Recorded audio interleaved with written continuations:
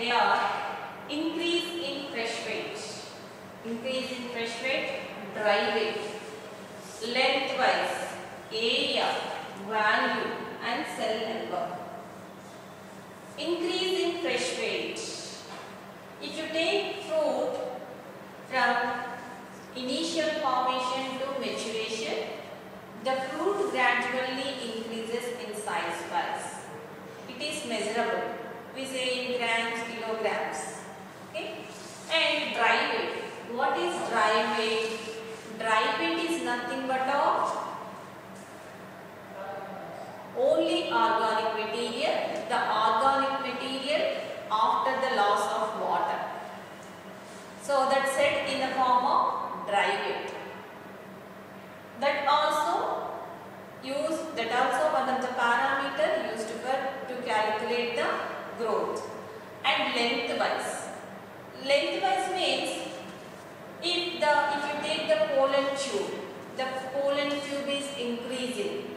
So the pollen tube is increasing means we said in the lengthwise.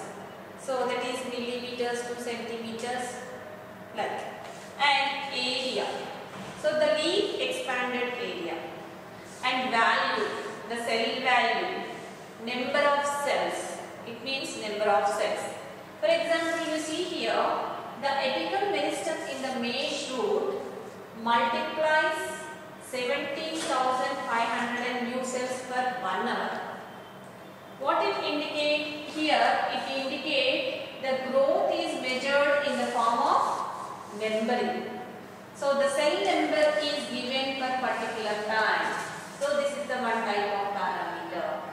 And in case of watermelon, cell increases in size by 3000, sorry, 3 lakhs 50,000 times. Here that is given size wise, size wise. And pollen tube length.